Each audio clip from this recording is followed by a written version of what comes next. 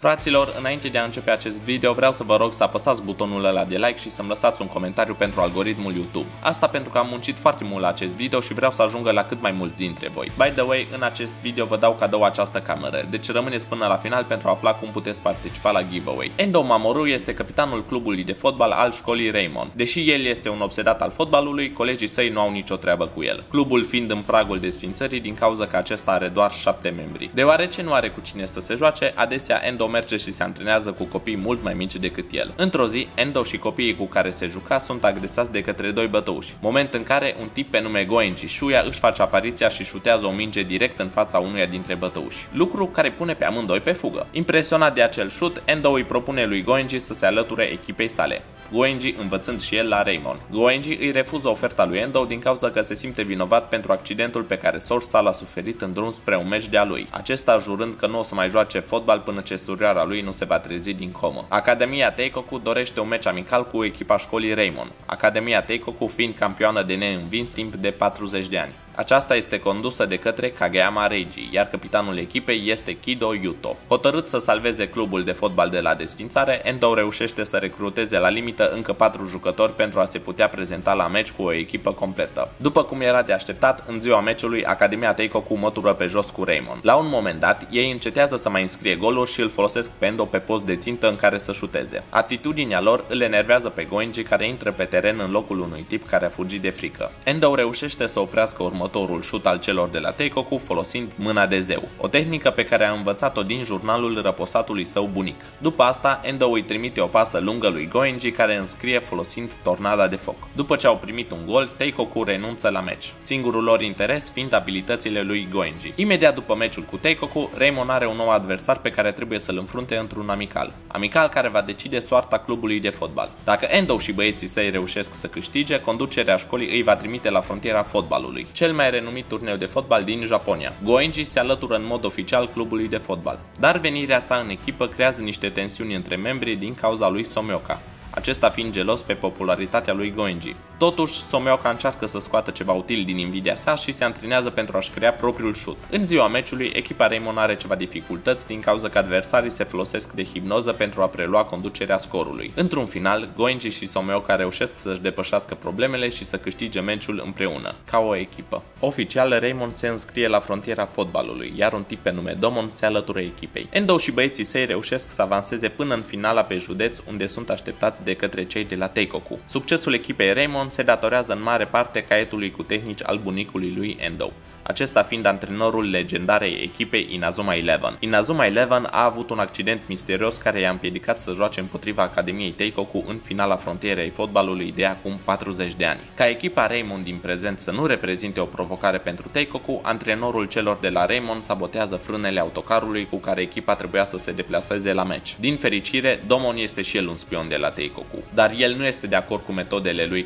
Kageyama, așa că își avertizează cu echipierii cu privire la intențiile antrenorului acesta fiind concediat pe loc. Pentru că echipa Raymond are nevoie de un antrenor pentru a putea juca în frontiera fotbalului, Endo îi cere unui tip pe nume Hibiki să devină noul antrenor al echipei. El refuză inițial, dar își schimbă părerea după ce Endo îi arată mâna de zeu, tehnică pe care și el o folosea pe vremea când era portarul Inazumei Eleven. În ziua meciului dintre Raymond și Teikoku, Kido inspectează tot stadionul, acesta dorindu-și un meci corect, nefiind de acord cu metodele lui Kageyama. După ce meciul a început, niște grini scad pe jumătatea de teren a echipei echipei Raymond, dar din fericire nimeni nu a fost rănit datorită lui Kido, acesta avertizându-l pe Endo de ce urmează să se întâmple. Kageyama este arestat pentru tentativă de omor, iar Endo și Kido au parte de un meci cinstit, echipa Raymond ieșind învingătoare. Chiar dacă au fost învinși, cei de la Teikoku trec și ei în etapa următoare a campionatului din cauza că ei sunt campionii de anul trecut. În primul lor meci de la naționale, Endo și băieții lui ies victorioși, lucru pe care nu-l putem zice și despre Kido și echipa sa, aceștia fiind zdrobiți de către școala Zeus. By the way, Kageyama a fost eliberat din arest din cauza lipsei de dovezi și se presupune că el este în spatele celor de la Zeus. Kido și un băiat pe nume Echinose se alătură echipei Raymond. Kido vrea să-și răzbune echipa, iar Echinose este un prieten din copilărie de-a lui Domon și vrea să joace fotbal împreună cu el și Endo. Fiind mai puternici ca niciodată, cei de la Raymond reușesc să avanseze până în semifinala turneului, unde trebuie să se lupte cu cei de la Kidokawa Seishu, adică fosta școala lui Goenji. În urmă cu un an, Goenji i-a dus pe aceștia până în finala frontierei fotbalului, dar în ziua ultimului meci, sora lui Goenji a avut acel accident cumplit, iar din această cauză el nu a mai putut juca în finală. Ghiciți cine a fost responsabil pentru acel accident? Ca să umple locul lăsat de Goenji, trei tripleți au creat triunghiul Z, un șut atât de puternic încât acesta nu poate fi oprit nici măcar de către mâna de zeu a lui Endo. Singurul obiectiv al tripleților este acela de a demonstra că sunt mai buni decât Goenji. Obsesia lor îi face să nu mai lucreze cu restul echipei și se lasă descoperiți în nenumărate rânduri în fața Tripegasului. Tripegasul este o tehnică creată de Ichinose și este executată de către acesta împreună cu Domon și Endo. By the way, Tripegasul se transformă într-un Phoenix până la finalul meciului. Phoenix care îi trimite pe cei de la Raymond direct în ghearele școlii Zeus. Înainte de meciul final, Aphrodite, a.k.a. capitanul echipei Zeus, le face o vizită celor de la Raymond și le arată diferența de putere dintre zei și oameni. Abilitățile lui îi uimesc pe cei de la Raymond, iar ca să-i poată opri șuturile, Endo începe și se antrenează pentru a stăpâni mâna Majin, o altă tehnică de-a bunicului său. După cum era de așteptat, Raymond sunt zdrobiți de către Afrodit și echipa sa. Secretul puterii lor este apa zeilor, o băutură care conține substanțe anabolizante ce le permite consumatorilor să-și depășească limitele fizice. Împins spre limita puterii sale, Endo reușește să stăpânească mâna Majin și îi oprește șutul lui Afrodi, lucru care le dă speranță celor de la Raymond, aceștia reușind să întoarcă scorul câștigând frontiera fotbalului. Cam ridicol sincer cum situația s-a schimbat brusc și zeii au devenit niște mielușei în doar câteva minute. Dar hei, cine sunt eu să comentez? By the way, de acum am să numesc acest fenomen Puterea prieteniei. Asta pentru că de fiecare dată când Endo câștigă un meci imposibil, el zice că nu are cum să piardă cât timp își are prietenii alături. Totuși, Raymond nu apucă să sărbătorească pentru că la întoarcere își găsesc școala complet distrusă, aceasta fiind atacată de către extraterestri din Academia Aliea. Ei vizitează școlile din Japonia pe care le provoacă la un meci de fotbal. Dacă extraterestrii câștigă, aceștia au dreptul de a distruge școala celor învinși. Oare n-ar putea trece și pe la Politehnică? În fine, vă rog să mă scuzați, dar am să întrerup acest video pentru a vi prezenta pe cei de la Bilibili Comics. Pe site-ul acestora găsiți o grămadă de benzi desenate din orice categorie. Deci dacă îți plac desenele sau animeurile, în special manga, eu zic că se merită să arunci un ochi, mai ales că nu te costă nimic, totul fiind moca. Deci, dacă sunteți interesați, v-aș ruga să intrați la ei pe site de pe linkul pe care vi-l las în descriere sau aici sus. Revenind la Inazuma Eleven, neputând să stea cu mâinile în sân, Raymond sare în ajutorul unei școli care este amenințată de către Gemini Storm, o echipă din Academia Aliea. Abilitățile extraterestrilor sunt cu mult peste orice a întâlnit Raymond până acum. Înfrângerea lor este devastatoare mulți jucători ajungând să fie internați în spital din cauza rănilor suferite în timpul meciului. Totuși, speranța nu este pierdută pentru că autoritățile au de gând să creeze echipa supremă de fotbal pentru a-i opri pe extraterestri. Această echipă se va construi pe membrii rămași din Raymond, iar antrenoarea va fi Kira Hitomiko. Raymond le dă de urmă celor de la Gemini Storm și îi provoacă la un rematch. By the way, o tipă pe nume Toko se alătură campaniei împotriva extraterestrilor. În timpul meciului, cei de la Raymond se descurcă mai bine față de data trecută trecută, dar degeaba pentru că diferența de putere este mult prea mare. În timpul meciului, performanțele lui Goenji au fost extrem de slabe. Drept urmare, el este dat afară din echipă. E de menționat faptul că el nu a putut juca serios din cauza că extraterestrii i-au promis că sorsa o să sufere dacă el o să înscrie. Având în vedere că și-au pierdut cel mai bun atacant, cei de la Raymond se îndreaptă spre școala Hakuren ca să-l recruteze pe Fubuki Shiro. El este un tip care poate juca atât în apărare cât și în atac, fiind extrem de bun în ambele situații. El obișnuia să joace cot la cot cu fratele său Atsuya, împreună formând duoul perfect. Din păcate, Atsuya a murit într-un accident de mașină acum mult timp, iar Fubuki a început să sufere de dublă personalitate, cea de-a doua personalitate luând forma lui Atsuya. Deci de fiecare dată când Fubuki intră în ofensivă, Atsuya îi preia controlul corpului. Gemini Storm atacă școala Hakuren, iar datorită lui Fubuki, Raymond iese victorioasă. By the way, cei de la Raymond au făcut un antrenament special cu Fubuki ca să se obișnuiască cu viteza extraterestrilor. De îndată ce Gemini Storm a pierdut, o nouă echipă de extraterestri numită Epsilon își face apariția și îi exilează pe pierzători. Deci lupta împotriva extraterestrilor nu este gata încă. Raymond își continuă misiunea de a aduna jucători puternici, iar asta îi duce la o școală de Kung Fu unde îl recrutează pe Kogure. Între timp,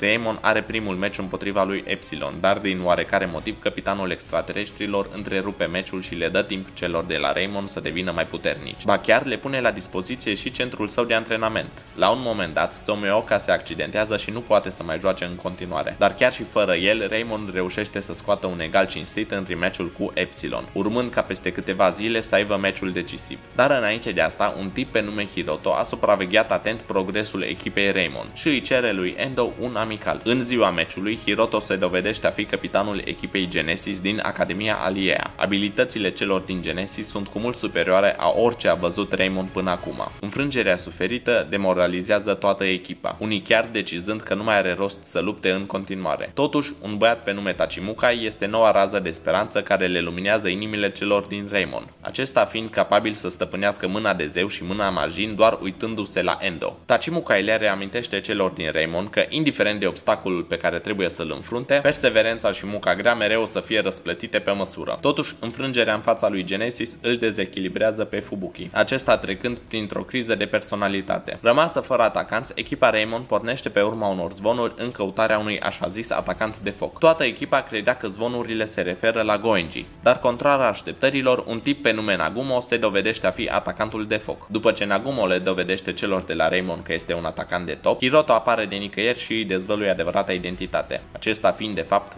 Burn, capitanul echipei prominenți din Academia Aliea. Se apropie meciul final contra celor de la Epsilon și Raymond nu și-a găsit un atacant. Dar din fericire, aceștia au o defensivă mai bună ca niciodată, având atât un nou membru pe nume Tsunami, cât și pumnul justiției pe care Endo l-a învățat din caietul bunicului său. Meciul dintre Raymond și Epsilon este extrem de strâns. Până când de nicăieri, Goenji apare pe teren și le aduce victoria celor de la Raymond cu noua sa tehnică, Furtuna Bakunetsu. Aparent, mulțumit autorităților, sora lui Goenji este în siguranță, acesta putând să lupte din nou împotriva extraterestrilor. Înfrângerea nu este acceptată în Academia Alia, așa că Epsilon este exilată de către Gazel, capitanul echipei Diamond Dust. By the way, și el îi provoacă pe Raymond la luptă. Lupta dintre Raymond și Diamond Dust este întreruptă de către Afrodi, acesta dorind să lupte împotriva Academiei Alia. Inițial, originalii membrii Raymond nu au încredere în el, dar Tsunami nu ține cont de trecutul său și îi acordă șansa de a demonstra că s-a schimbat. Afrodi este mai puternic ca niciodată și de data asta nu are nevoie de trucuri ieftine precum apa zeilor. By the way, Endo își arată potențialul de a juca pe teren pe post de libero. Deci antrenoarea Hitomiko îl scoate din poartă și îl pune în schimb pe Tachimukai. Cât timp Raymond se obișnuiește cu noua formație, în Academia Alia au loc niște lupte interne. Mai exact, între Genesis, Diamond Dust și Prominence există o competiție pentru postul de cea mai puternică echipă. Iar pentru că echipa lui Hiroto este favorită, Burn și Gazel decid să-și unească forțele formând o nouă echipă, echipă numită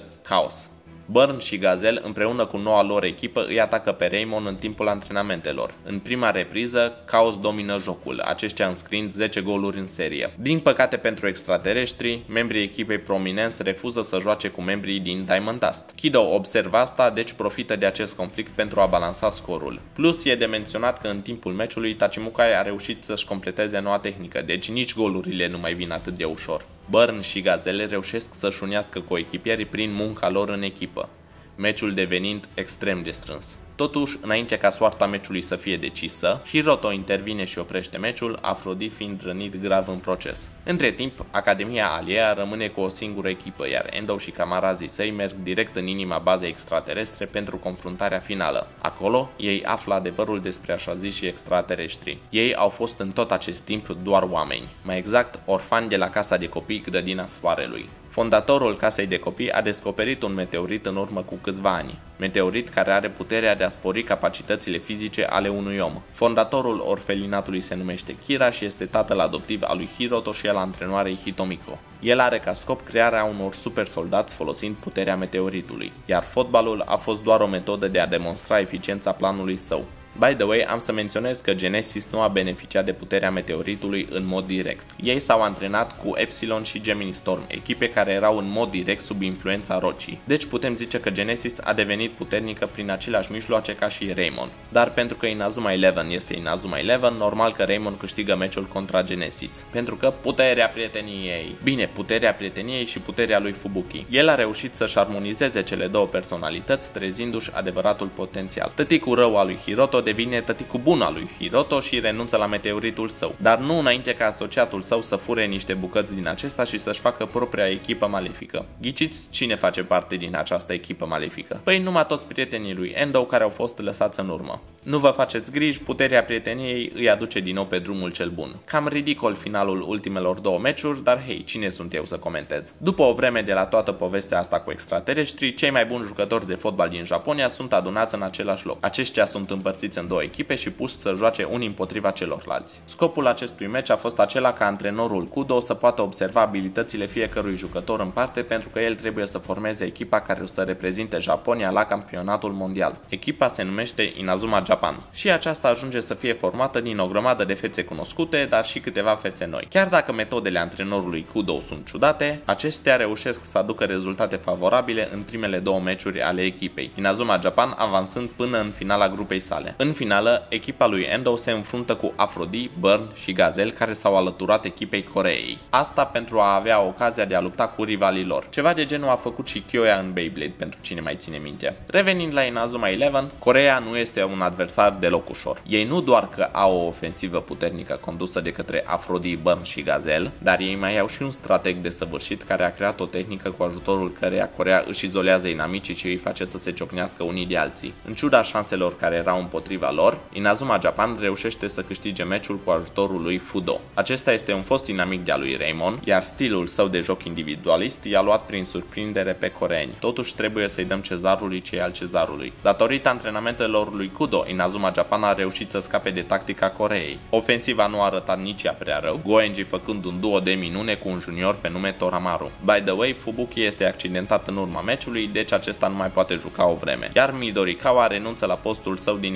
echipa națională. Ca și fapt divers, ăsta este fostul capitan al echipei Gemini Storm. Cei doi sunt înlocuiți de către Somioka și Sakuma. Etapa finală a campionatului mondial se ține pe o insulă, iar în Azuma Japan sunt invitați la o petrecere de către primii lor adversari, echipa Angliei. Toți membrii echipei japoneze se pregătesc pentru petrecere cu toții mai puțin, Endo care dă o miuță cu restul capitanilor din turneu. Într-un final, acesta ajunge la petrecere, dar Edgar, a.k.a. capitanul Angliei, încearcă să-l umilească din cauza lipsei sale de maniere. De aici, conflictul evoluează într-un duel între Endo și Edgar. Dacă Endo reușește să oprească șutul lui Edgar, el câștigă și bineînțeles că pierde. Totuși, această înfrângere nu îl demoralizează pe Endo, ci din potrivă. Acesta este mai motivat ca niciodată să se antreneze. Cu ocazia asta vreau să-l felicit pe Someoka pentru munca sa. În ciuda faptului că nu a fost selectat de la început pentru a fi un membru al echipei, el reușește să înscrie primul gol al Japoniei în cea de-a doua etapă a campionatului mondial. Someoka este un exemplu clar că nimic nu e imposibil, atât timp cât muncim din greu pentru visul nostru. Inazuma Japan reușește să învingă echipa Angliei datorită unui moș dubios care îl ajută pe Endo să creeze o nouă tehnică. Tehnică cu ajutorul căreia îi oprește șutul lui Edgar. By the way, moșul l-a mai ajutat până acum pe Endo cu un cauciuc pentru antrenament. V-a fost dor de Kageyama?